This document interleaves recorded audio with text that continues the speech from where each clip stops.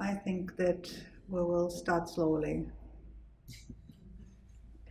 Because uh, I'm sorry, just for, for people who are watching us uh, now on the stream, I'm really sorry because we're a little bit late for different reasons, like, you know, circumstances that's just uh, happened.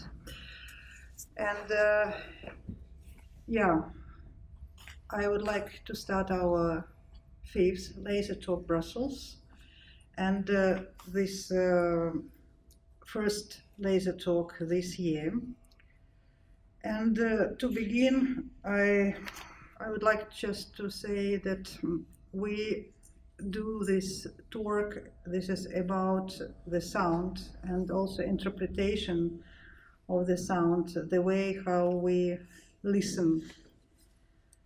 And I would like uh, to tell that uh, we are living very strange, difficult time now, and uh, also what is happening now in uh, Ukraine. This is a very, very tragical event, and I think that we have to be aware about it.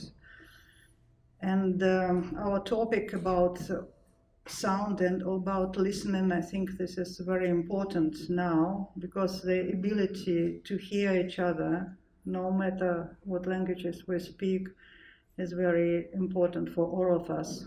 So I would like just to express all our uh, support to Ukrainian people and just uh, from our part that we are thinking and uh, we will be able to help, we will be doing it. Okay, and uh, again, now uh, I would like to tell about Laser Talk. What is it uh, for our Belgian public? Uh, because Laser Talk, uh, this is the program of Leonardo, and it sounds like Leonardo Art Science Evening Rendezvous, and it was done specially to bring together scientists, artists, technicians, and uh, humanists for to create some special environment and uh, fortify links between different interdisciplinary fields. And we count to continue uh, to do laser talk Brussels at least five, six times a year. This one uh, is dedicated to the sound, so sounds that help us to listen, to learn. And uh, the subject is uh, about that uh, our world is sound and we um, interact with it every day and sonification gives a great possibility to present and analyze data. Space around us is filled with humming, murmuring, reverberation, carrying information. Sound waves can be meant means of can be means of diagnosing health condition and of monitoring the faraway space. Frequencies beyond human hearing can wake dormant instrument measuring volcanoes activity. Sound can be almost a physical instrument. Scientists and artists are exploring and probing the world by listening. Some artistic projects are researching how to make electromagnetic waves or light audible in purpose to enlarge our perception in a different, unusual way. Others, are inventing new instruments using sound data. Astrophysicists refer to sonification of light brightness variation to reconstruct stellar composition and structure. Today, our laser talk uh, bring together uh, three person, three wonderful, uh, two artists and one scientist, and I would like uh, shortly introduce you to them. This is Aernoudt Jacobs, and uh, we have, uh, he is a Belgian artist working primarily with the medium of sound. His work is both phenomenological and empirical, and it has its origin in a, in a, in a sounds can trigger sonic processes that will affect and observe score of perception. His work focuses on a central question how can the complexity, richness, and stratification of our direct daily environment be translated into something that can really be experienced? His work has been exhibited widely in Belgium and abroad, and in addition to his artistic practice, Jacobs co-direct with Christophe De Boeck Overtoon, a platform and production facility for sound art based in the center of Brussels. I would like to introduce you another participant. This is Mathieu Zurstrassen. He is also with us now, and uh, he is a trained architect who since 2013 embraces the path of visual art. In designing object, he moves away from the projection of the drawing and focuses on the experimentation of construction. He gives added value to his work, symbolic and philosophical, on the quality of the invisible and the relationship that created between the sender and receiver. He uses the code of craftsmanship to solve aesthetic issues often at the border of the unspeakable highly technical, Zurstrassen combines the ambiguity of material, a poetic thought made of humor and delicacy. He has since exhibition, exhibited in various events, galleries, and festivals such as the KIK Festival or Ars Electronica or Venice Biennale. And uh, I would like to introduce our third panelist participant. She is just arriving. Sometimes uh, there is a train real late, uh, so she is here. She is coming to the um, to the camera. But I would like already to introduce, uh, to give you information about her. This is Professor Katrien Kolenberg. She's astronomer, astrophysicist. She's coordinator manager of ESERO Belgium European Space Education Research Office, coordinator at the Louvain uh, Catholic University. She's a professor of astrophysics at the University of Antwerp and uh. After obtaining her PhD in astrophysics at the Leuven University in 2002, she did research at the University of Vienna and the Harvard Smithsonian Center of Astrophysics. At each of these stops, art always featured alongside astronomy. Her scientific research is situated in the field of stellar astrophysics, in particular variable stars and as asteroseismology, the physics of vibrating stars. She's passionate about science and art astronomy for development, and innovative artistic science communication and education worldwide. In this context, she long ago made the bridge from the data of vibration stars to the sound that can be associated with them, and discovered the, the uh, power of multisensory data exploration. Her collaboration with Wanda Diaz Merced who uses and started sonification inspired her to start up fine-tuning sonification techniques for pulsating stars. While star sounds have often been used for scientists, science communication, the power of the sonification method for data analysis and asteroseismology and by extension other fields has been thoroughly investigated. The astro sounds collaborate allows this to be investigated on a larger scale by letting the public listen to the stars. So this is uh, all our three panelists. Quite often uh, we have uh, our collaborator for laser talk. Unfortunately, she couldn't be with us today, Edith Dove, because uh, because of COVID. So uh, we live very strange time. So I would like to give uh, word to Aernoudt Jacobs, and uh, he will first present his own work. Hello, everybody. Um, I will first, um, I will do a, a, short presentation in two parts. Um, the first part is um, more about what sound means, what sound means to me, and the second part will be how I use sound in my uh, practice. And I will give, give some examples. So um, First, uh, maybe to say um, sound is important for me because um, when I discovered um, how I could use sound into my practice, I discovered uh, quite soon that sound um, travels in in different ways uh, to to ourselves. So uh, you could say that um, sound travels through air, solids, and liquids, and because of this, it's a quite peculiar uh, place uh, in the human spectrum of perception. Um, first, it allows uh, wave, timbre, and conductive perception of reality.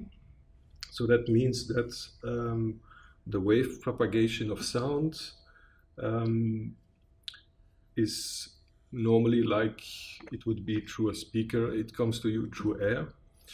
Um, but there are different uh, aspects of this. Um, and first, for example, is that you can um, differentiate um, physical properties of sound. So that means that you can also um, have an idea of the source of sound when you listen. Um, and because of this, this is linked, of course, uh, through memory um, and also cultural differences. And um, of course, there's also underwater sounds, or um, if you listen underwater, um, this is a way that is quite different because you don't listen through the air, but uh, then you have the aspect of bone conduction, um, and the sounds will travel through your body, uh, through the bones. Um, secondly, I think here, hearing is a sense which allows uh, a three-dimensional um, way of perceiving um, without looking. So if you close your eyes, you have an idea about three dimensions.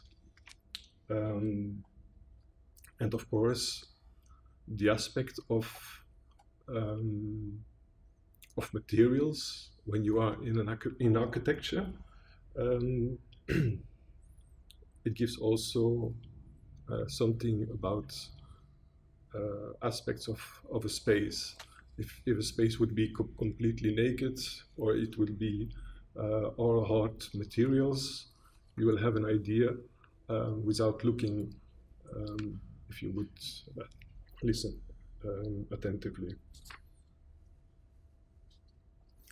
And then third, there's a process of hearing that is a connecting of a connected mode of perception. Um, what I mean by that is um, you can listen and you can um, also look uh, and hear, for example.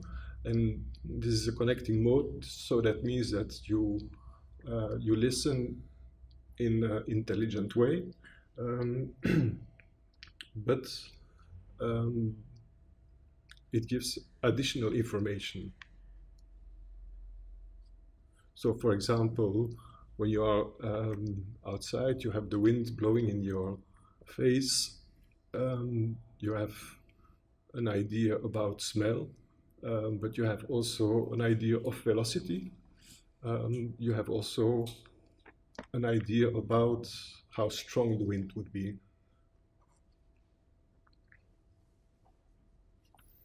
And of course, sound needs a listener, an interpreter, and uh, transformation process between the propagated sound waves and the listener that interprets the sound within a cognitive process. So hearing can be a process of auscultation, um, and I think we really hear through, or we we think through our ears.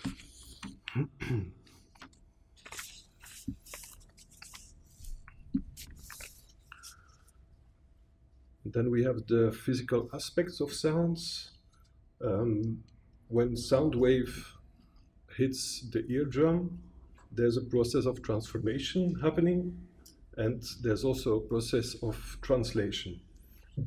So as sounds move through air, uh, it never leaves, leaves the listener untouched. You are always, in a physical way, um, listening, for example. So low frequency can be felt, um, loud sounds can resonate for a long time um, into your head. You can have ringing effects, um, earworms. Um, so um, I think sound has a lot to do with pressure, pressure variations inside the ear and it displaces the inner organ. So um, yeah, that's that's all all um, different aspects that shows that sound is a physical process. Our world is full of infinite sounds, but how do we actually perceive them? Sounds are collected by the outer ear, which consists of the auricle and the external auditory canal. The sound is guided through the ear canal to the middle ear. The sound arrives at the eardrum, a flexible circular membrane which starts to vibrate when sound waves strike it. The sound waves are passed on by the movement of the eardrum to the middle ear. In the middle ear are three tiny bones, referred to as the hammer, the anvil, and the stirrup. Collectively, they are known as the ossicular chain. These form a bridge from the eardrum to the entrance of the inner ear. Their interaction increases and amplifies the sound vibrations further before these are relayed fully into the inner ear via the oval window. In the inner ear is the cochlea, which is similar in shape to a snail shell. It contains several membranous sections which are filled with watery fluids. When the sound waves vibrate the oval window, the fluid begins to move, thus setting minute hair cells in motion. These hair cells then transform the vibrations into electrical impulses, which are sent via the auditory nerve and onto the brain. What we call noises are actually just sound waves, which are transmitted through the air. Signia. Life sounds brilliant.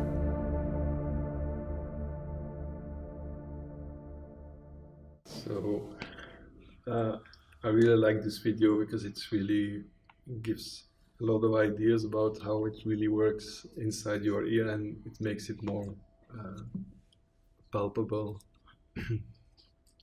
so um, if we look back at this video, uh, you could say that sound can be influenced at three stages.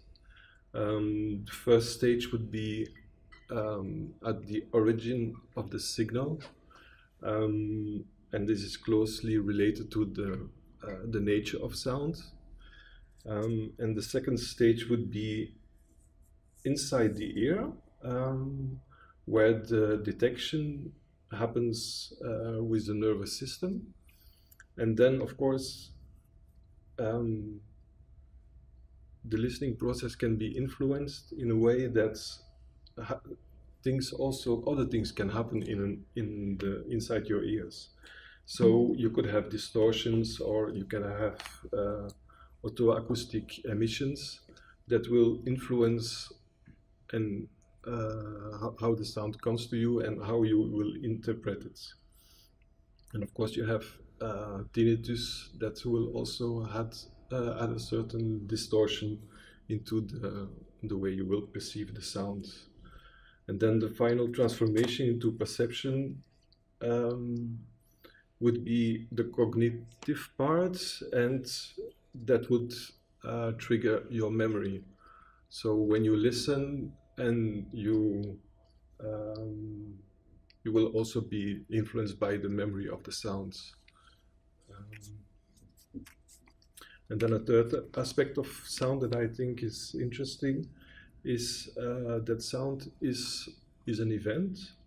It is something that happens in time and it changes also in time. So it has a linear, complex, layered property and it evolves in time both in contents and how we translate it. So you could say that sound always changes. It has a dynamic property, um, but sound is never passive on its own. It becomes passive when you don't pay attention to it. So time is a, an essential factor because it helps us understand sounds and um, yeah, it's an element of the translation and how you understand it. So time is an important factor. so it's the first part. And then um, I will present some installations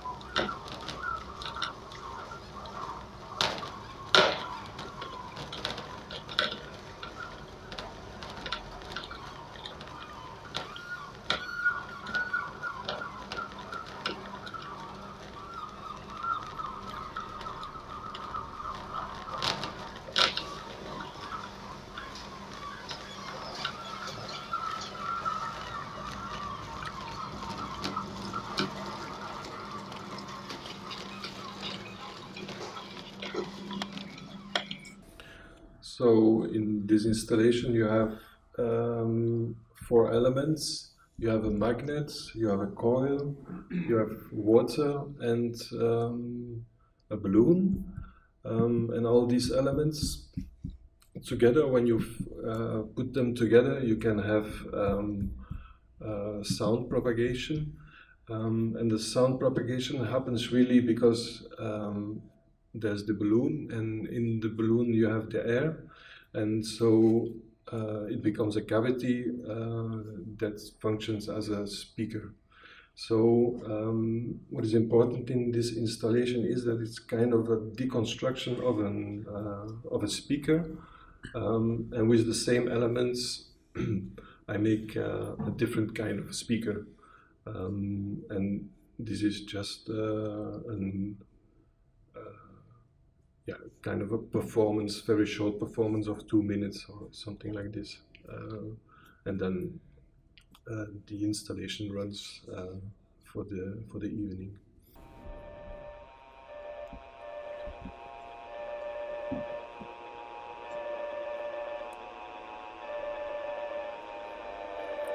This installation uses uh, light um, as a as a means to uh, to make sounds.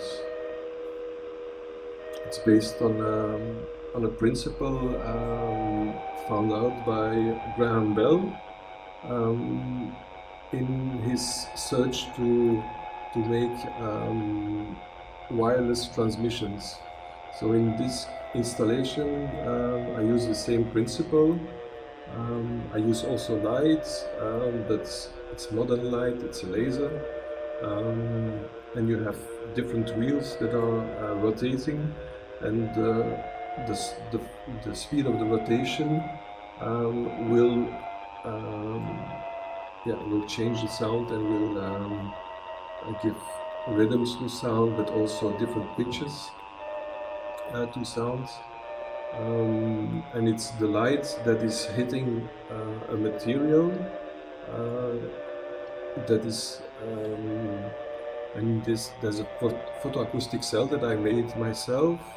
Uh, and this cells um, uh, exists uh, through um, just air, black material that is uh, black copper material, um, and because of the the heat and the, the light of uh, the laser, uh, this material will contract, um, and this will form uh, a sound into the um, into the horns.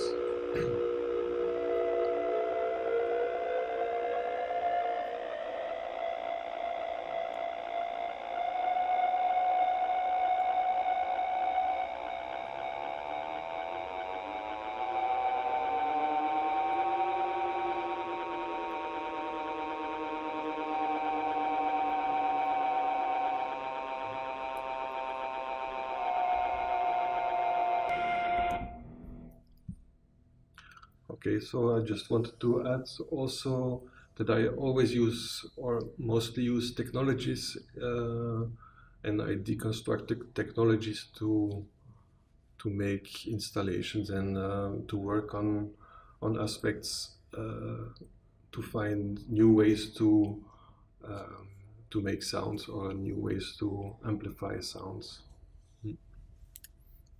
Thank you very much. No. Uh, I would like now to give the word to Katrien. Okay. Yes. And uh, she will tell you about her work and about what she's uh, uh doing, like astrophysicist, like uh, like working also with the sound, like working also with the public, with the wide public, mm-hmm. to give them possibility to uh, listen the sounds of the stars. Thank you. Um, so yeah, meanwhile, I'll, I'll already talk a little bit before my, my presentation was sent while I was on the train. My train was delayed. Um, but so I, I research stars and um, my stars, of course, they're far away. They're very far away, but what I study are sound waves inside of the stars. Uh, and in my presentation, I'll explain how we can actually perceive these sound waves because sound waves need a medium to get across.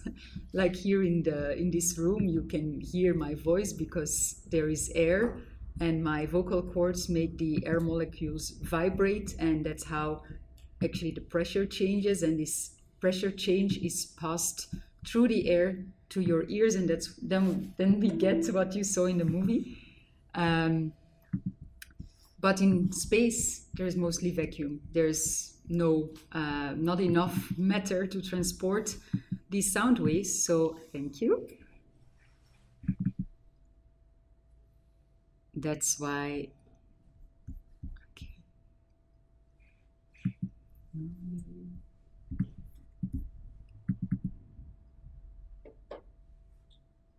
It Yes. Okay.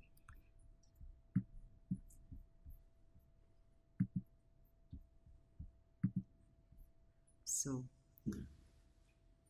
yeah, when you look up, up at the sky, you see many stars, and actually, you can say that our universe is full of sound because many of these stars that you see in the night sky, they're actually ringing like giant bells. They're vibrating like giant musical instruments, but as I just explained, there's no medium to transport these sound waves all the way to the Earth because these stars are very far away and there's no medium. But what we do get is the light. And light uh, is also a wave phenomenon, just like sound. But light, the medium for light, um, light doesn't need a medium, it can go through vacuum. And light, what we call light, is just a part of the electromagnetic spectrum. And so we can see a small part of this with our human eyes. Uh, there are parts of the spectrum that we cannot see, but actually, cosmic objects, including the Earth, um, are radiating in different wavelengths. And this visible spectrum is what we see with our human eyes. Now, light is a wave phenomenon, just like sound is a wave phenomenon. And in the example that Aernoudt just gave, actually, you, you transform light into sound. I'm going to do the same, basically, because what we get from the stars is the light, but what is originally in the stars are sound waves. And sound is a vibration, eh? just like I just explained with my voice. This vibration is passed on through the air to your ears. Um, and just like we cannot see any kind of light, we can just see part of this electromagnetic spectrum, we also cannot hear any sounds. We also have a limited range of sounds that we can hear. We can hear sounds with between 20 and 20,000 vibrations per second. And this 20,000 is very high because yesterday I did the experiment again to see how high uh, my own pitch goes. Uh, and of course, kids, they can go maybe up to 20,000, but as you get older, this, uh, this upper limit gets lower and lower. Uh, but that's what we can hear as humans. Now, uh, we know that other creatures use other ranges of these sound waves to communicate.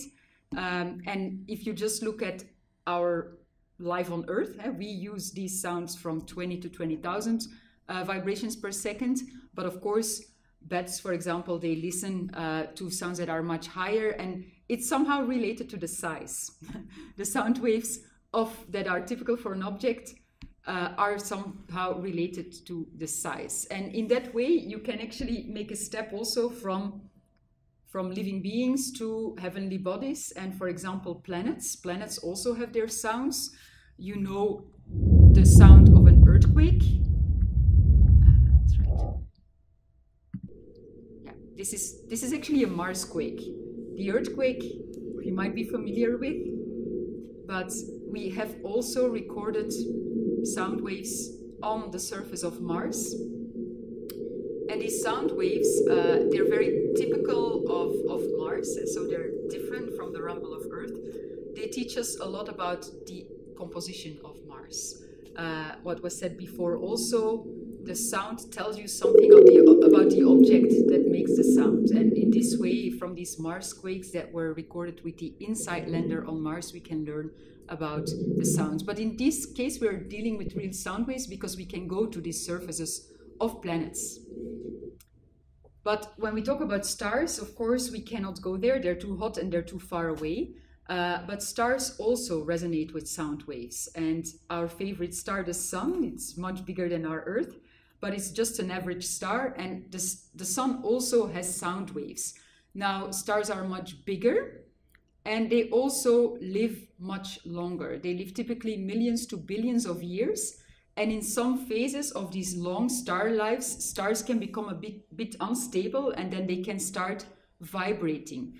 They start vibrating just like my vocal cords, but because they're much bigger, they vibrate much more slowly. Now, um, they vibrate actually too slowly for our human ears to hear them, and also the space between us and the stars is mostly empty. It's vacuum.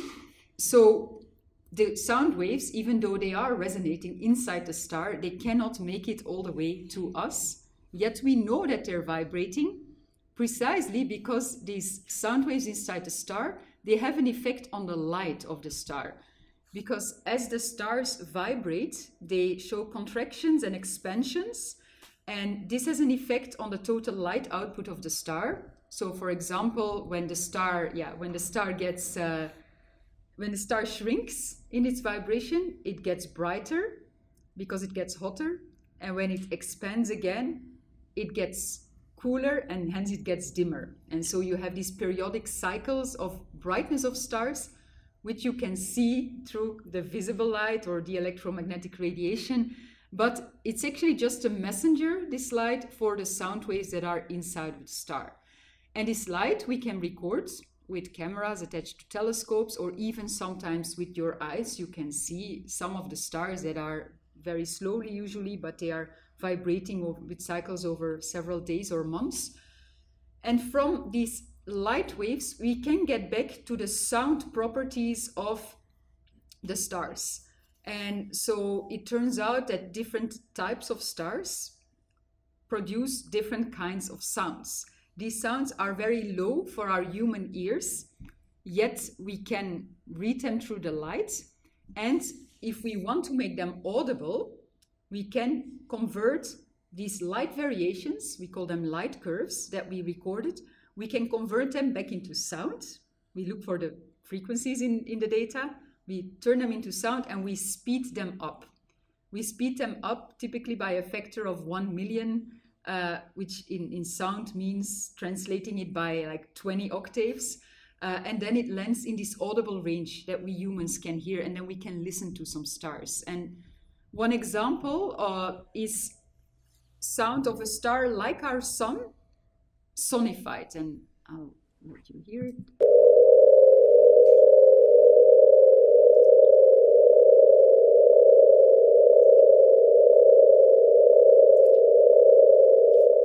So this is the sound of a, a star that vibrates vibrates like our own sun, because you might not think about it, but our sun in itself is vibrating in hundreds of thousands or even millions of vibration modes simultaneously. You cannot see the sun shrink and expand like other stars do, but actually the surface is vibrating with sound. Now, other stars we don't see like a disk, eh? like our sun is quite close, 150 million kilometers, we see it as a disk, but other stars are so far away that we cannot see them. And I give you a few more examples of some stars that you can see in the night sky, just like dots of light. For example, our own polar star, Polaris, uh, is famous because actually it's it's in the it's the the extension of the, the axis of rotation of our Earth. So as Earth, rot Earth rotates, you can see all the other stars turn around Polaris. But actually, there's nothing special about the star. Yet it is special because it is it's actually um, a pulsating star.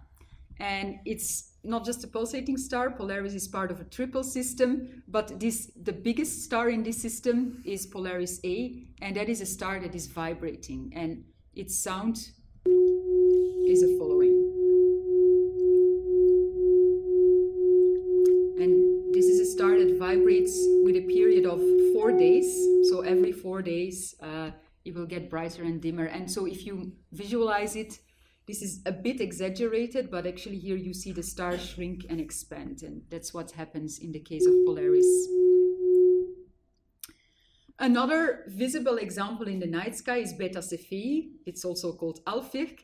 This is not so far from Polaris in the sky, and this is a totally different star. It's much hotter, it's also much younger, and it has another sound.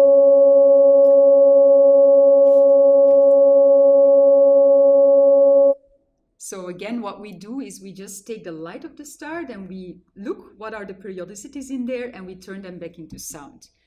Another star in the northern sky is one of my favorites because I've been studying it for a long time. It's RR Lyrae. And this star, this is actually a picture of the star, but it's sped up. In reality, this vibration takes 12 hours. Uh, here it's just one second, so it's very fast. Uh, but its sound is also very particular.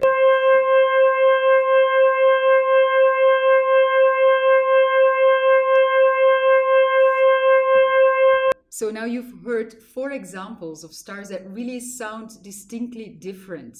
They all have a different timbre, a, different sound color, which is defined by the, the composition of the star, the internal um, the internal structure of the star, and that's why we do this kind of research. Stars they they live and they die, they go through cycles, and we as astrophysicists we want to really understand what what what is what are the lives of star? What is their evolution? What is the, the future of our own star the sun? Because stars as they live and then they die they give the material that they've used and created back to the cosmos. They form new stars. So if we want to understand our own cosmos we want to understand these stars. And actually through these sounds we can do that. There's a whole orchestra of sounds but of course they're they're trapped inside the star. But you can sonify these stars. And so this study that I've been doing for a while has uh, led me to actually explore what if we just use these sounds for data analysis? What if we don't just study the light curves and do the analysis by staring at a screen? Uh, but what if we really use these sounds for more than just giving talks and, and making it clear to the people what we're doing? But what if we really use these sonified stars.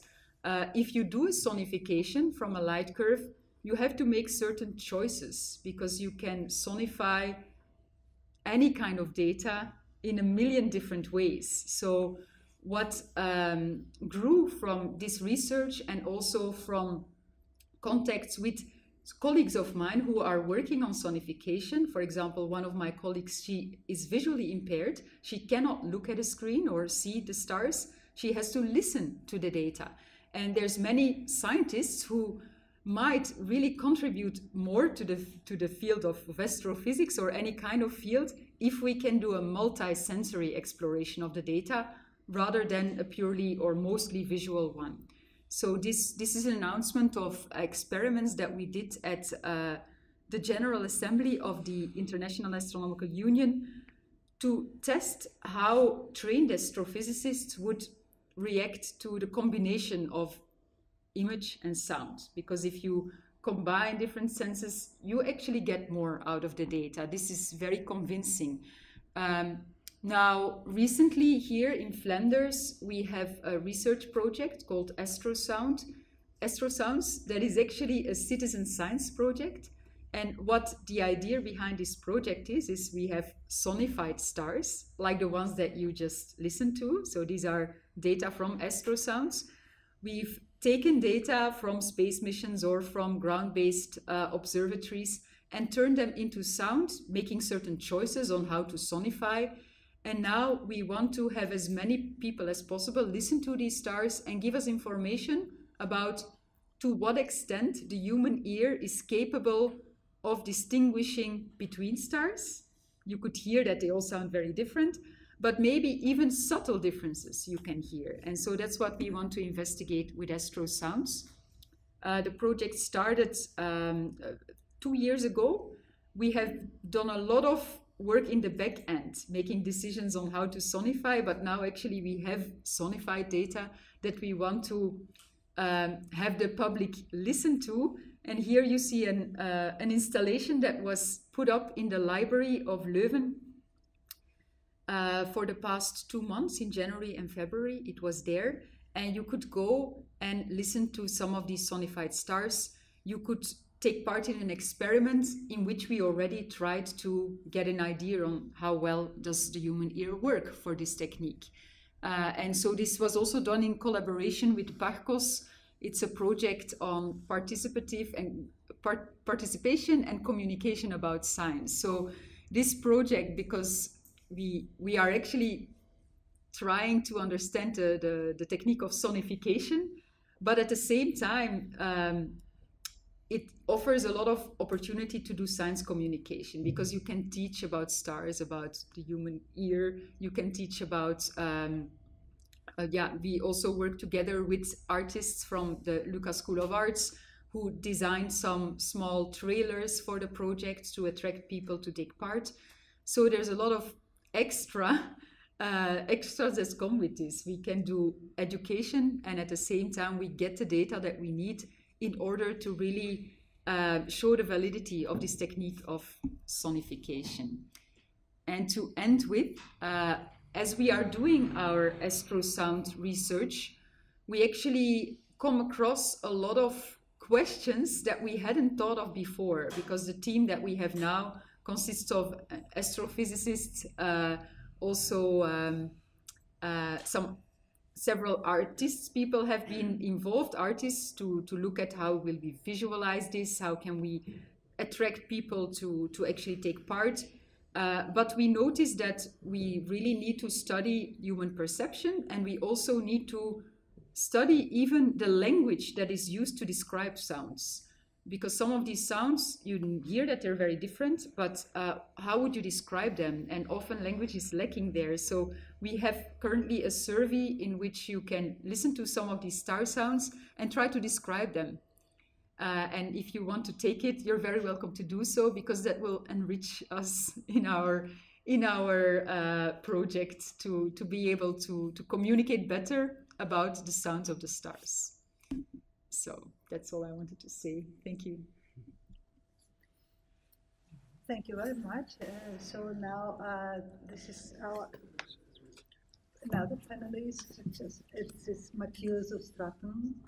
He will uh, now present uh, his work. He will do introduction, what he is doing like an artist, and uh, also to show what he, is happening between his object that more or less in the between of the science and art fields.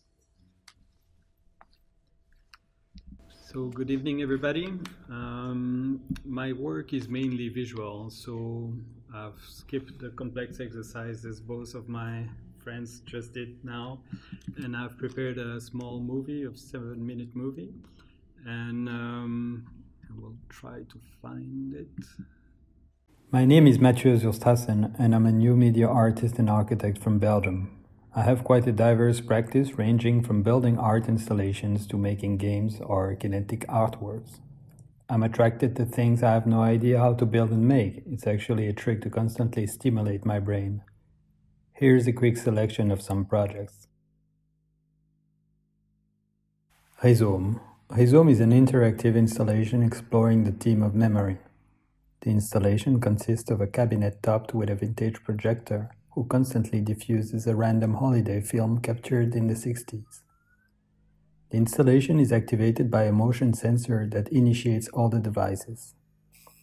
As the visitors surround the installation, a camera analyzes their gestures and their movement. When it detects someone is holding a camera or a phone, an abrasive mechanism is activated and the physical support of the imagery starts to being damaged. The information present on the film gradually disappears from its original support, but is now transferred to the digital memory of the viewer's recording tools, which in turn can be used for a new narration or the sharing on social networks in order to make this memory survive. The installation can be seen as a discrete and intimate device which addresses the theme of transmission, memory, forgetfulness, and the contemporary ways to transmit and engrave a moment.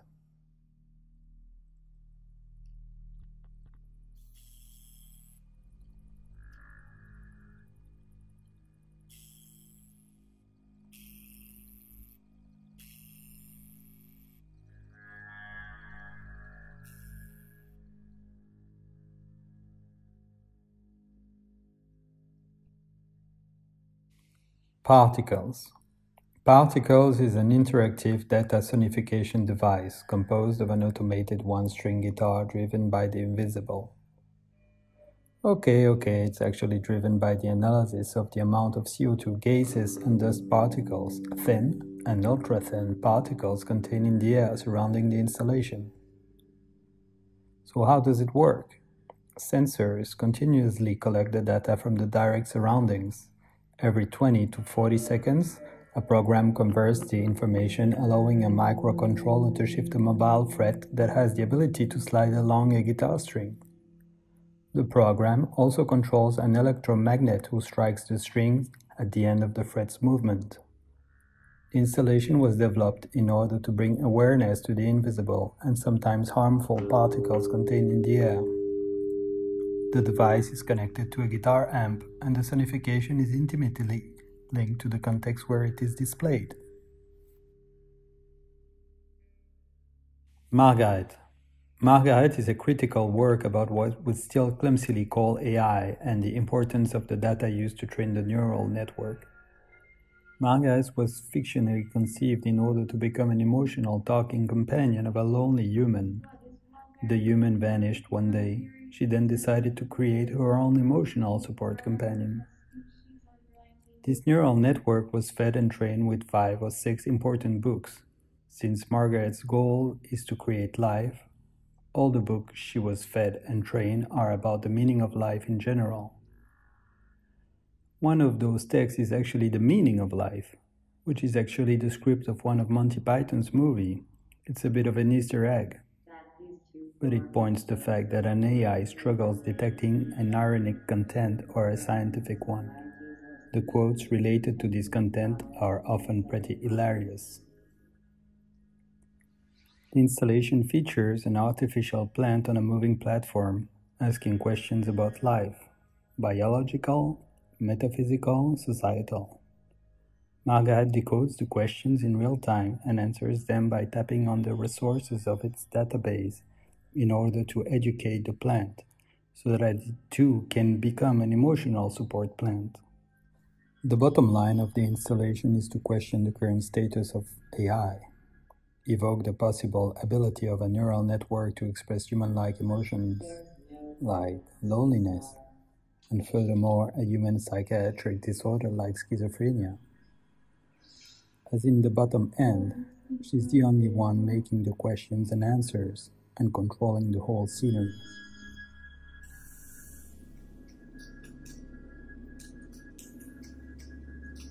Gold, said the old man, gold, said the girl, go, said the man, let us go. We've been fighting for these places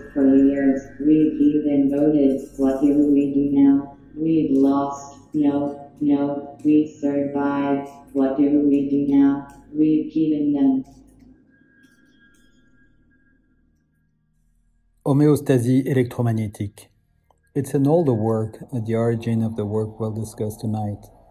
It consists of a double kinetic structure featuring a device similar to that of the metronome, whose main axis is extended by a free pendulum sheltering a sound column. The device evolves at the rate of the K-index data provided by two remote observatories, one Canadian, one Belgian, and illustrates the cycle of a solar storm, also called Aurora Borealis. Sounds and movement evolve gradually through a 20 minute sequence. In the climax of the period, the rhythmic disturbances are accentuated. The structure becomes unstable, the sound is accentuated, and the system tries to maintain its fragile equilibrium. K8 is the work we'll explore a little deeper tonight. It's a sound and visual installation consisting of a connected device that simulates the light phenomena as the colored veils present in the night sky at the poles during a strong geomagnetic activity. More commonly called polar auroras or northern or southern lights, the installation is fed with scientific data coming from 13 observatories spread around the globe at a rate of one day per second and with information evolving from 1932 to the present day. On an ecological and educational level, the installation allows the public to visually see and interpret evolution and the impact of solar winds received by our planet during the last century. It also allows to see the evolution of solar cycles. The geomagnetic activity being essentially influenced by the solar activity. The visualization is completely analog. The unique effect is mechanically obtained with lasers, sound, and a custom UV reactive solution.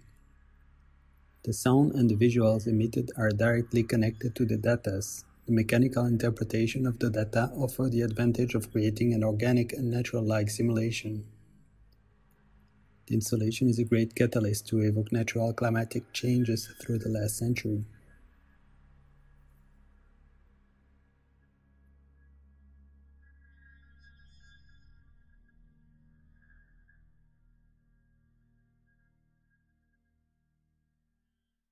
Sorry for skipping the live exercise for this part.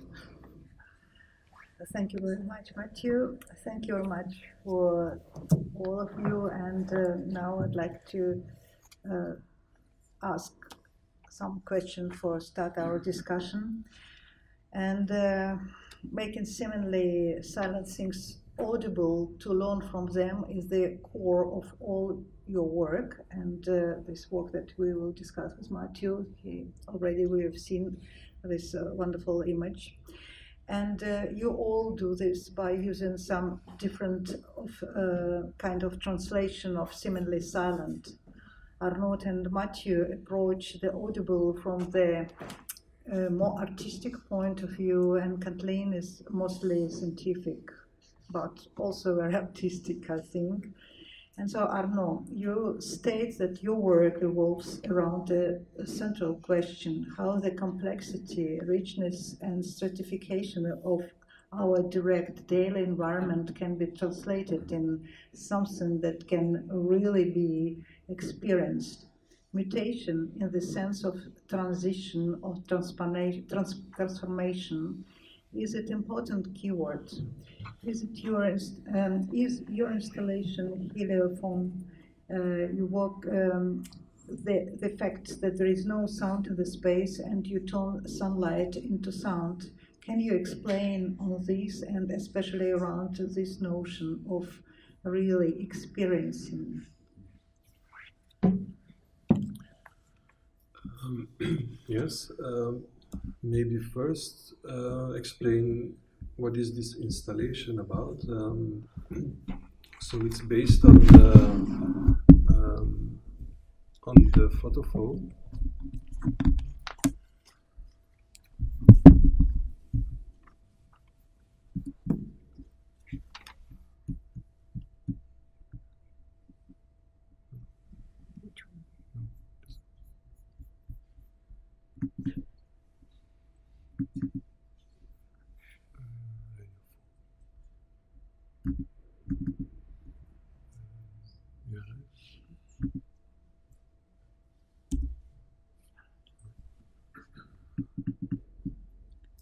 So it's based on the photophone, uh, which I explained earlier.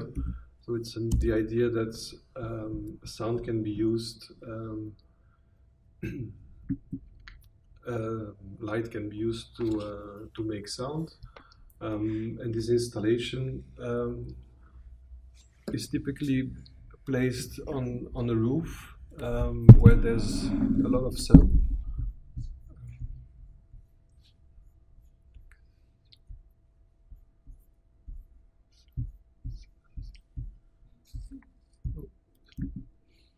Sorry.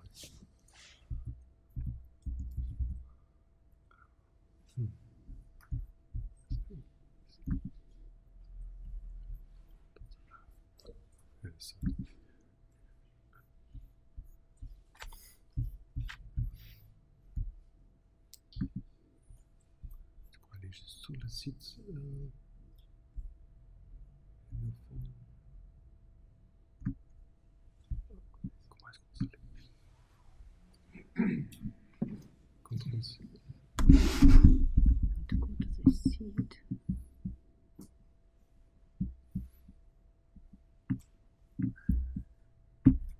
Sorry. Uh, and here this is. Mhm.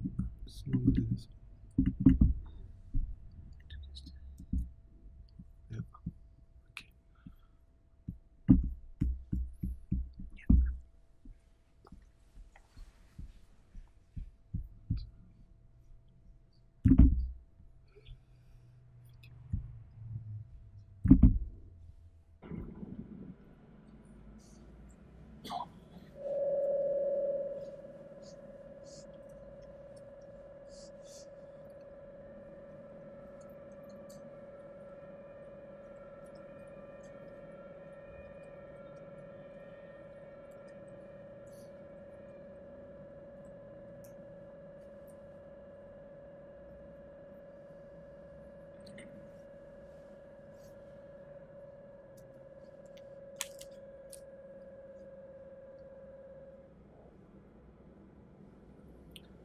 So normally what, what happens is that this uh, installation is placed outside. You have sometimes clouds and then the sound disappears. Um, um, and it just by the this um, the frequency of the sound will change according to uh, certain aspects of the of the intensity of light and um, for me it was um, a step further uh, from photophone because photophone was just an installation that used uh, a light that was conceived uh, by, my, by me.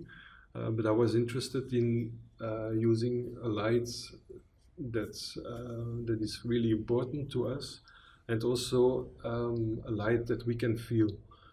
So in that way for me it's also a physical installation because when you when you are with the installation you of course you hear the sound but you have the combination of the of the heat of the sun and um, somehow it's uh, a combination like I said um, like sound is um, can be something that you add uh, in, into an experience. Um, and in this way this installation is also that way so the installation basically follows the sun uh, all day. Um, and uh, according to the position, the ideal position of the sun, uh, the, the installation follows the sun. Okay. Uh, thank you very much. And uh, next question to Katrien. Your field of uh, expertise is the daily environment of the stars. On the website of Astrosound, there is a poet quote of the Saint-Exupéry, Little Prince. I loved listening to the stars at night. It's like listening to five million little stars. Only, as we have just observed through the work of Aernoudt, there is no sound in space and it's a vacuum. Your work evolved on making stars audible. How do you do this and what is your goal? Is how far in this real sound of the star? I, you explained a little bit already before. Yes. So, but maybe you will add something just how you're working with the um, experience uh, with the people, how they are learning, how you uh, propose them to listen, maybe just more details about Yeah. it. Okay. Yeah. Thank you very much. So indeed, what we what we take is the light eh, because there is no sound. The the quote from Saint-Exupéry, it is. Uh, it's it's it's not really what you can do, but of course, if you if you watch the stars, you can think that you hear things. But uh, what we do is we we take the light from the star and we turn it into sound, and that's what we uh, present to the public. And so, how do we do that? Usually, uh, the stars that that that uh, the most of the data that we're sonifying are actually coming from satellite missions now, because since a bit over a decade, we have some telescopes up in space that follow stars non-stop sometimes, and that's much more practical than being bound to Earth and having the day-night rhythm, having the clouds that block the sun and the stars. Uh, so we use these very precise data And since we have this space data, we actually found that for these pulsating stars, not all stars pulsate, but many pulsate in some phases of their lives, that uh, we find many, many content, many, many, many different frequencies, many different ways of vibrations, some that we didn't find uh, from the ground yet. So that has meant a revolution in our field. And so these are the data that we are now using for sonification. So what we do is take the data, do an analysis of the light data, then usually you find tens of frequencies and each one of these each one of these frequencies they correspond to a certain oscillation mode of the star a way in which the star is vibrating it's either expanding or contracting or it's moving it's changing its shape a little bit and we can actually mathematically describe all of these pulsation modes and they correspond to specific tones in the star. And then we make the choice which one are, are we gonna take because which ones make the characteristic sound, the timbre of this star. So we've done experiments to see should we take 20 or 30? If you take 20, is it enough to really distinguish this star from another type of star? because just like you have musical instruments in an orchestra, you have different types of stars. And so the work that we have done behind the scenes is to identify what frequencies do we take. And then we now have these sonified stars. And now what we are doing in by bringing them to the public is we we want to make it also an educational experience. So we teach uh, the people who are interested about, for example, the pitch the pitch of a star, how high or how low it sounds, uh, is, is uh, somehow related also to the, the density of the star, which is linked to the size of the star. So in that sense, we can learn a bit about the astronomy, the astrophysics behind it, and at the same time, we have people listen to stars that have different pitches, that have different main frequencies. And what we find is interesting because it turns out that not all people hear uh, pitch in the same way because stars never or barely ever pulsate in just one mode. There's many modes simultaneously. These are contributing to the timbre of the star. And then it gets really interesting when you can see how or you can observe how different people react to the star sounds. Does that answer the question? Yes, perfect. Thank you very much.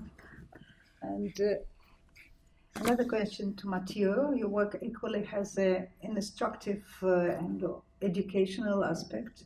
You develop uh, intricate kinetic, kinetic machines and in a work under development try to recreate the sound of waves. Your installation, Kieit, which refers to the name given in Eskimo language to the glittering aurora during the period preceding the appearances of the daylight. Uh, the public can visually see and interpret evolution in the impact of solar winds received by Earth during the last century. It also allows to see the evolution of the solar cycle every 11, 14 years. Can you explain a little bit how this work and also maybe uh, tell your experiences um, with uh, uh, working with the uh, scientist because you told me that uh, for to create this work you connected uh, scientists who are working with electromagnetic wave and have all this collection during of the 20th century how you um, develop this relationship and work okay so I actually didn't properly uh, work with a scientist. I just uh, received most of uh, the information about the solar cycles uh, from Potsdam Institute in Germany. Um, I can, of course, explain how it, the installation mechanically works. Um, but for the scientific part, I think uh, Katrien would be well more accurate. But I'll give it a try. Um, amongst other values, uh, the main value that runs the installation is the KP index. Uh, KP index was introduced in 1949 by Bartels um, and was designed to measure the solar radiation uh, that is emitted by the sun. Um, the P in KP index uh, refers to planetary, uh, and it's actually the sum of uh, the K index coming from 13 different observatories uh, spread around the world, and that are um, um, reunited in Potsdam Institute. Um, experts have observed that indeed there are uh, certain cycles um, that occurs every 11 to 14 years. Um, during each cycle, the sun stormy behavior is uh, goes to a, a, form of a climax, and at this climax, the magnetic field of the sun reverses. Then it goes down again, and you start another cycle, slowly going up. Then you have a major storm. Uh, those storms are uh, at the origin of the um, are intimately linked to the polar auroras, the ones at least the, ones we see uh, on Earth.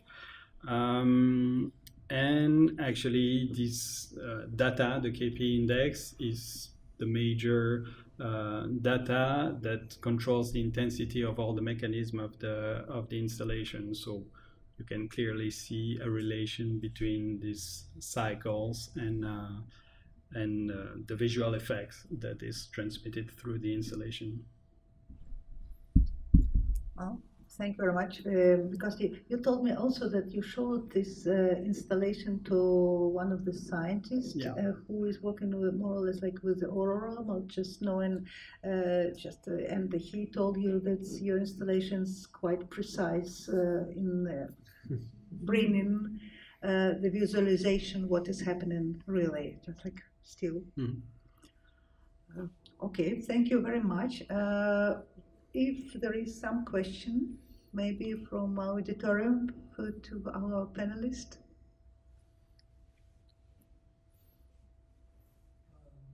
yes, maybe a question about the sonification of stars because it was. Uh, Sorry. Like a little more details actually. Because you said there are several modes.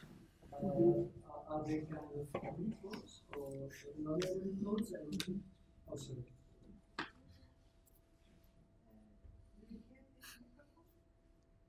I, I can speak loud. this one is not. Is, maybe this one is long enough. Yeah. No, it's. So, oh. thank you. No, so so my question was, uh, what what kind of mode do you do you discover in stars? Mm-hmm. Do you discover harmonic modes or, or non-harmonic modes, yeah. like in bells? Yeah. Uh, that's the first question. Thank you. Yeah, it's a very good question because indeed. Um, musical instruments have their own modes. Actually, every object has its favorite modes to vibrate in. We call that uh, eigenfrequencies. Mm-hmm. Uh, and for musical instruments, they are made such that uh, that they are harmonic in the sense that, and the, the harmony, it, it is actually mathematically uh, very elegant because what we as humans per- perceive as harmonious uh, comes down to integer ratios of certain frequencies. Um, now, some stars do do show that, uh, but in those stars because they are not as nicely built as, say, an organ pipe or a bell or a string in a violin, which is very uniform in its thickness, in its, its density. For stars, that not, that's not the case because a star is a giant sphere of gas, which is much more dense in the center than at the surface. So you have a density profile, and in that sense, uh, the sounds are generally not going to be harmonious. Um, what you have in musical instruments are, are vibration modes, like a string, it's in one dimension. If you look at a, a drum, it's in two dimensions. In stars, it's in three dimensions. But actually, it's, it's the same kind of physics that you have there.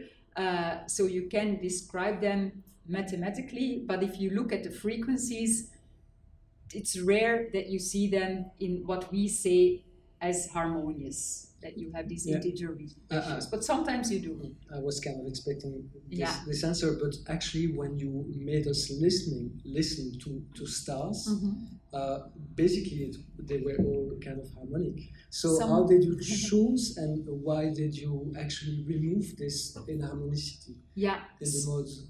Some of them do sound a bit har harmonious, actually, because I chose some examples that really have, if you look at the, the sound wave, the uh, and what we see as the light light curve, it is uh, for some of these stars it is very repetitive. Mm -hmm. And if you look at the uh, yeah what the, the light variation, uh, if you would see it as a sound wave, it would really resemble, for example, the the the pressure waves that you would cause with, with a violin, uh, which are also like these sawtooth functions. Uh, so in that sense, for these stars, you do see some harmonious relationships because they are vibrating very fast.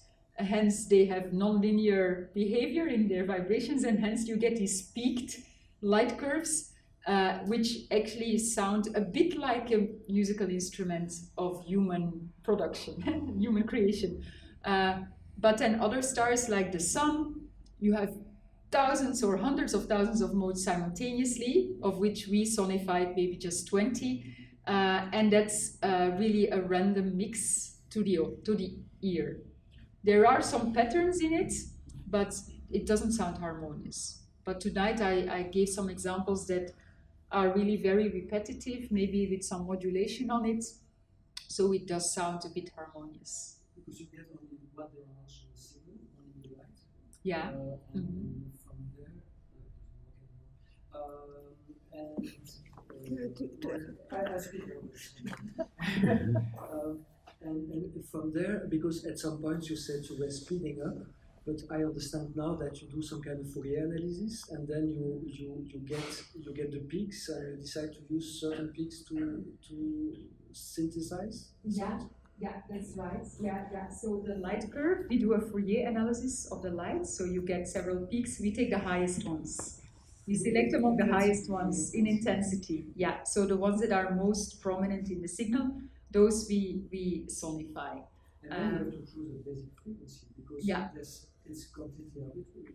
It's uh, no usually yeah it is in some cases it's hard to pick the one that is basic because we determine our factor of uh, speeding yes. of, of a, yeah of uh, multiplication factor is determined by what is the basic frequency uh, and uh, for most stars you have like a prominent main mode, but for many you don't. So then you have to make a choice. So it's not the same factor for each star. No, it's not the same so, factor so for each star. Would that be yeah. to have the same factor? Uh, well, we try to. It's basically because what we do is the stars they pulsate uh, with periods between minutes and centuries. So it's a very broad range, and we need to bring that into the audible range. So that is very limited uh, and therefore we have some kind of function that makes this mapping from the star range to the audible range. Uh, which is why we don't always use the same factor, but we make sure that we can hear everything the star is doing. So it's uh, it's it's not arbitrary, but we made choices. Yeah. Thank you. I have a question, maybe a short question. Um, and who makes the choices? based I, I, was interested in knowing, um, yeah, is it based on on musicology then the the mm-hmm. choices that are made, or is it um, yeah on personal favors? yeah, yeah. Actually, this is something that that when we were working in the back end, of Astrosound that we that we had to come yeah we were grappling with because we have to make some choices and uh, who makes it it's is basically uh, in consensus so we we uh, first started just to to find the frequencies eh? you have the light and then you find what are the what's the most important frequency frequency content. You bring it to the audible range. And then you have to decide okay this star vibrates mostly faster than the other one so it has to sound higher. Okay, so that, that's already, so we have some constraints, but then uh, the decisions on how many to take, it's then based on doing different sonifications with different numbers and then seeing, okay, from when onwards does it not make a big difference anymore mm. to our ears, our human ears, to take 25 or 50?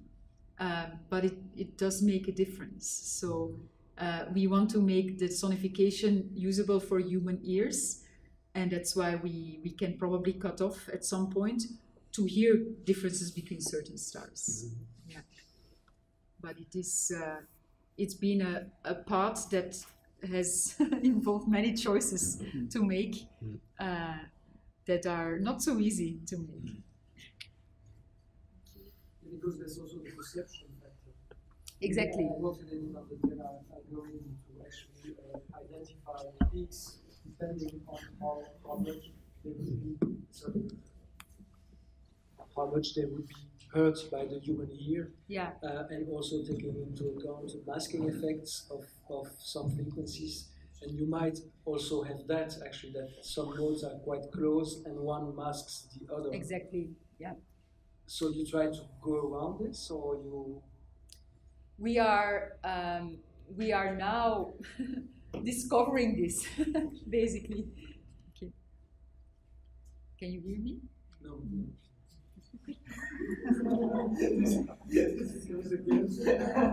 yeah so all these uh, these masking effects or the perception um, excuse me this is something that we are now figuring out.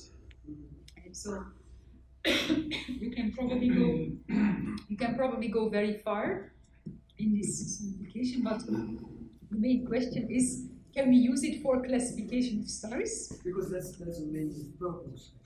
That's the initial purpose. And then maybe if you are, for example, in within one class of stars, every star is different, just like every musical instrument or every voice. Um, so then you could go, okay, within this class, can I hear the subtle differences? But for classification, the choices that we've made are sufficient. But then if you want to go listen to very small differences, then you might have to make other choices. And indeed, the, the perception, that's something where we now notice we have to do perception experiments because, uh, yeah, there's questions like, the, what, what does the human uh, attention pick up? Eh? uh, salience and things like that. So we are actually writing a proposal now to do this kind of experiments as a follow-up to what we're doing in astroscience. Yeah, there's a lot more to do. Thank you. Somebody have a question? It's also about the, um, the star sound. Um, is there any um, sound wave interference? Because if a lot of stars are making the vibration, there must be some uh, Yeah. interference among the stars. Yeah. Can that be detected uh, through the change of the light? Or Thank you. Yeah, in some cases, yes. The thing is that the, the sound waves are trapped inside the stars. And so, and the stars are usu- usually they're far apart um, uh, because there's vacuum between them. So there is no contamination between the different sounds of the stars. But of course, if you have multiple stars in an image, which you often have because they're aligned in the sky, then you will pick up the signals from more than one star. Uh, so that's when you get some interference and you have to figure out what comes from which star.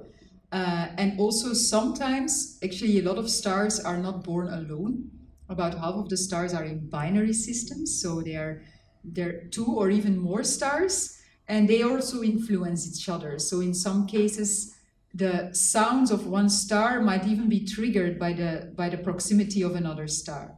Uh, it's like plucking a string, but it's actually the gravity of another star that is plucking the one star to to get these these vibration modes excited to start vibrating in its eigenfrequencies. So there there is some contamination, but generally, if you can focus your telescope at one star, you will pick up mostly uh, the vibrations from that one star.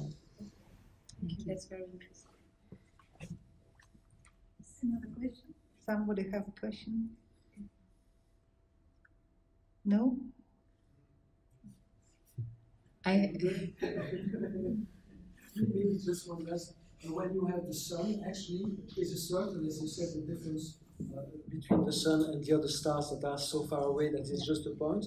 Do you do something about the surface, actually? And, and I know there are satellites who are monitoring the, the, the sun, uh, and I guess some modes spread differently on the surface? And do you make some analysis that is uh, um, more precise than just the global uh, uh, light level, but also the, the way it fluctuates on the yeah. surface? Yeah, thank you very much. And thanks to this, actually, we know that the sun has uh, hundreds of thousands of modes. Because if you would just look at the sun as a yeah as a disk and integrate the light of the disk, we would not see all of that. Um, we we would see much less modes than we see because now we can resolve the solar surface and what we do actually is then we look at velocities on the surface you can detect the doppler effect uh, the redshift or the blue shift on the surface of the sun and you can see that different parts of the surface are moving in opposite directions and this is these are these vibration modes and in this way we reconstruct the motions mostly based on what we see on the surface of the sun. So we really make use of the fact that we see the sun as a disk for the seismology of the sun, the helioseismology, which is much more advanced and precise because we have the sun so nearby. Uh, but thanks to the fact that we see things in the sun and then we see similar things in other stars, we can say, okay, this star acts like, like our sun is acting with the vibrations. Uh, but for other stars, we cannot do that yet. So you can make a much more complex simplification for the sun. Yes, yeah. And what I uh, what I did was was a simple one, yeah, which is enough to say, okay, this is a solar-like star, uh, but not to say, okay, this is the sun. Um, so, yeah. Thank you. Are there people certificating um, planets as well, like in our own solar system? Yeah. I yeah. would love to hear how it works. Like yes. plants. Yeah, yeah, yeah. Yes, uh, you have sonifications of uh, several several uh, planets. So the two that you heard were the Earth. Actually, we didn't listen to the Earth, but that's an earthquake. And then you had Mars. There we landed on the surface and we could record the sounds directly because we were on the medium itself. But then you also have sound waves uh, that are around Jupiter, around Saturn, because we have missions around these planets. And then what we could do is we turn the electromagnetic radiation that we measure there into sound. So there are sonifications of this that sound very spooky. So you can Google uh, spooky sounds NASA, and then you will land on a page that, that has these sounds. Uh, so for planets, you can also use it, and it's it's uh, it's even easier because they're closer by. Okay, Yeah. thank you. Thank you. Very nice one. because uh, actually, it's, it's a question I wanted to ask then I forgot about it. But because you talk about the light, but you analyze the light in different frequency ranges and, and then get different modes from different frequency ranges, or is it always the same? Uh, you can choose. Usually, you well, uh, it's an interesting question because what we get from the star is the light, and you can look in the visual light, but you can also use a filter and look at just parts of the electromagnetic spectrum. And depending on where you look, you might see the vibration stronger or less strong. And that's interesting. Already, that gives us a lot of information. If you see more, if you see it stronger in, in the blue or in the red, that, that's interesting. So we, but the data that we used is just in one filter because already there you can identify what kind of vibration is it. But so you can look in different filters and you will get different information also on the vibrational content and you can learn a lot from that. It can help you to identify what are the ex- ex- exact movements of the stellar surface actually. If you look at it in different filters, that can help you to determine yeah, how the star is deforming. And the star stays a dot of light, so it's quite amazing that from these just these measurements, you can reconstruct what it's doing in 3D. Yeah.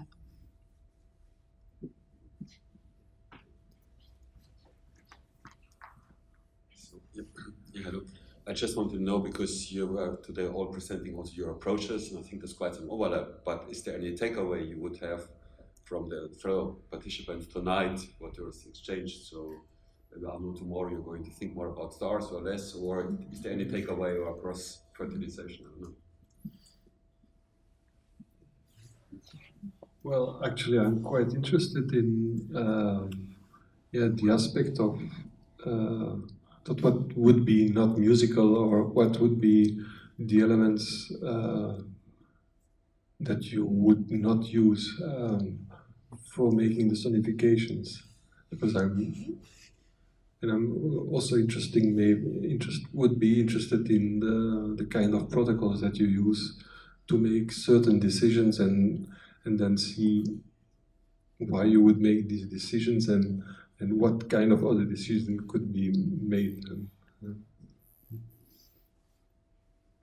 Thank you. Um, well, I'm pretty amazed uh, by what I saw saw tonight and heard tonight. Um, I might need a bit of time to decipher everything, uh, a night or two, but it sure brings me some ideas, of course, and um, I will follow up uh, on the sound matters and, uh, of course, on the work of Aernoudt. Thank you. Yeah, and I, I have some questions for you both actually. So for for the installation with the um, yeah with with the solar cycle, eh? so you um, you show some some flashes of light mm-hmm. that correspond to when you have more aurora, mm-hmm. and we also saw different colors. Uh, how is that related? Um, so it's mainly blue. Mm-hmm. Um, but when it's more intense, well, it's linked to the laser I'm using. Uh, you have like white and, and blue. Mm-hmm. Um, mechanically, it's a laser, a UV laser that goes through um, a special liquid, which is uh, UV reactive.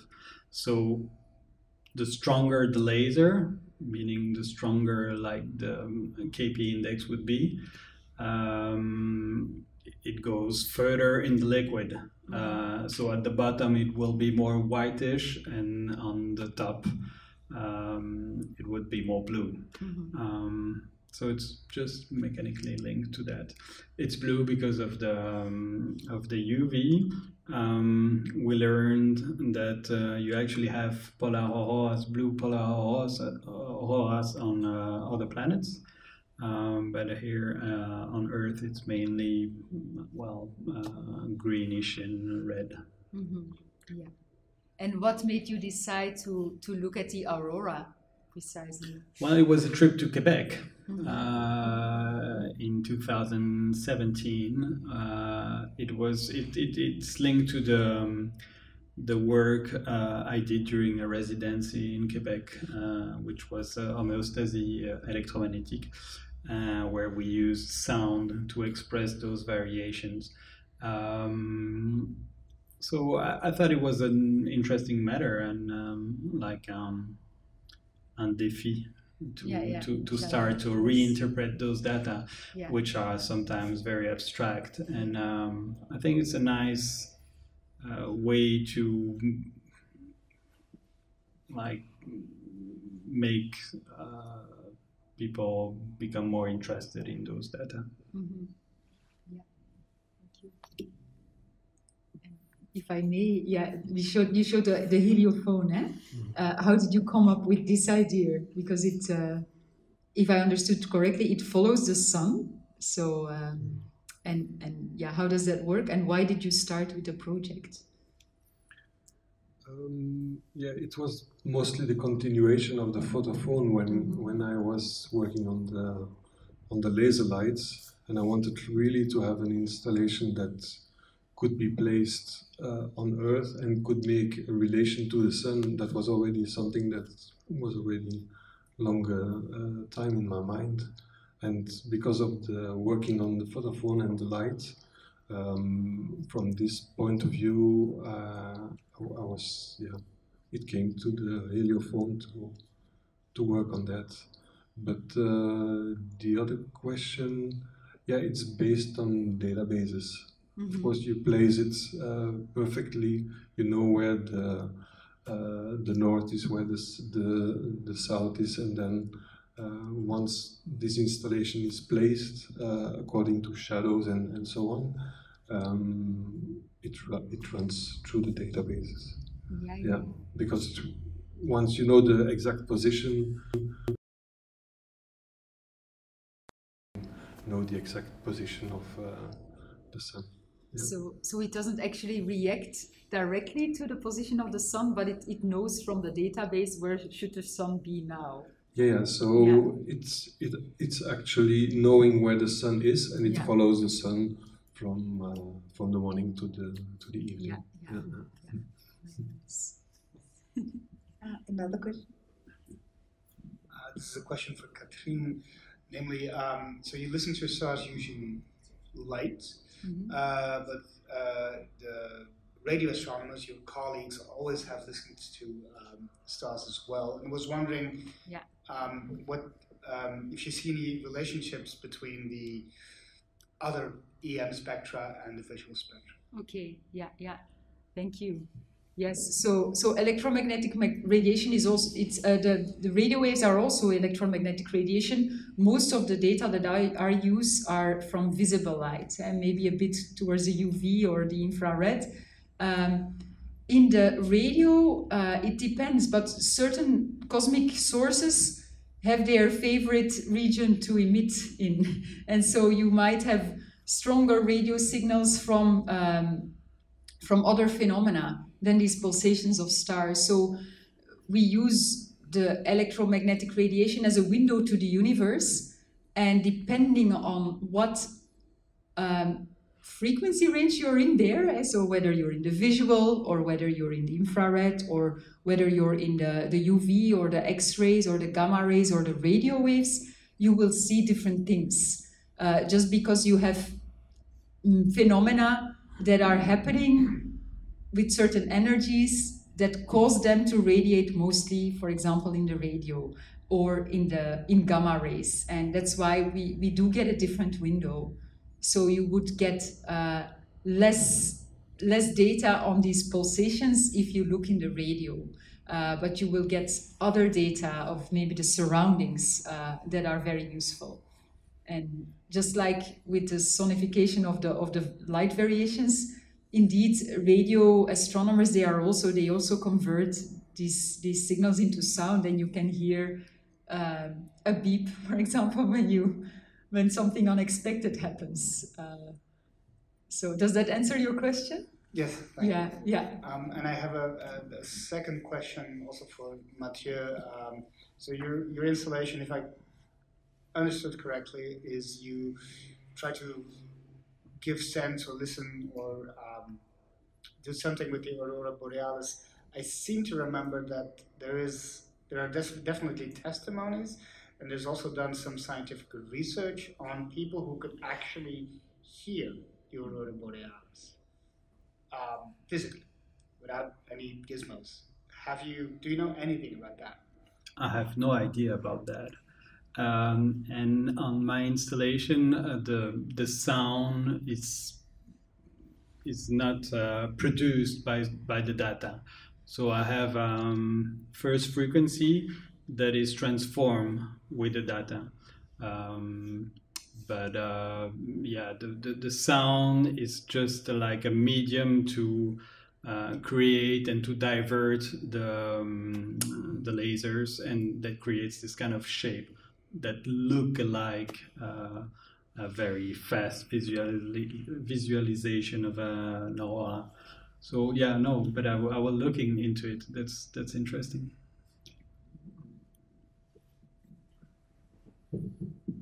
Some other question? No? Okay. Uh, so, uh, in this case, uh, we will finish in our laser to laser laser panelists, Katrien, Aernoudt, Mathieu, thank you very much for to take part uh, in and uh, also, also listening uh, this uh, interesting, inspiring for me at least uh, um, talks. And uh, yeah, so just uh, also thank you to Imal to host us here. And yeah, so just we'll keep you informed for the next one. And in all cases, the, the after if you will have uh, if you forget something or something just missing, you can go back and to listen it on internet. So thank you. Thank you.